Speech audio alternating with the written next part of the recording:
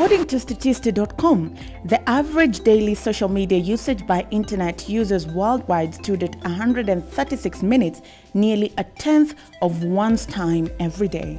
In Kenya, that time is probably spent on the phone given the wide usage of smartphones in the country. This is what partly inspired Teddy Ogallo to think of how to make it easier to undertake financial transactions on the phone using popular social media platforms such as WhatsApp. 70% of the population in our regions are people below between 18 and 35 years. These guys use WhatsApp heavily. I use WhatsApp for all communication, even sharing documents. I'm always there. I use social media heavily. That is how WayaWaya emerged, a platform that enables customers to interact with their banks through WhatsApp. When you are in, you can request for a transaction by saying something like uh, send 10,100 shillings through PesaLink to account number 1234 at uh, CBA Bank or HFC or I&M Bank. And a pop-up comes up uh, where you can enter your mobile banking PIN or your one-time PIN, ensuring that you don't share any sensitive account information through the WhatsApp interface and transaction is completed.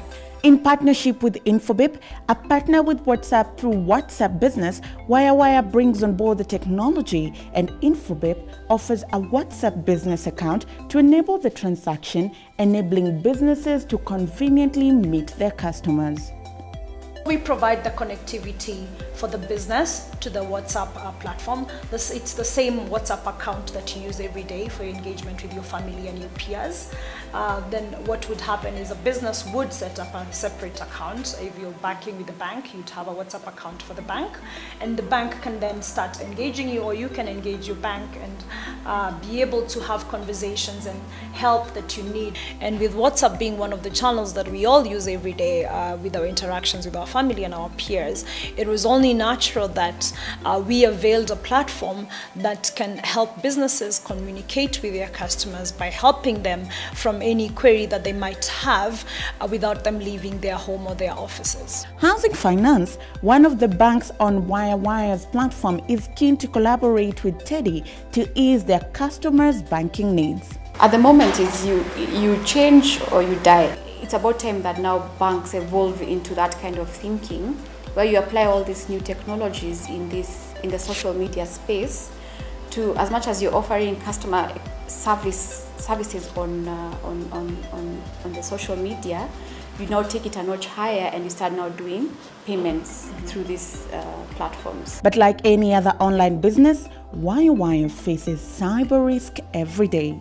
We do the SIM swap fraud uh, checks and we do the expiring one-time password and we ensure no sensitive account information is held within that WhatsApp interface. Uh, no one will come to your conversation to get your mobile pin or something.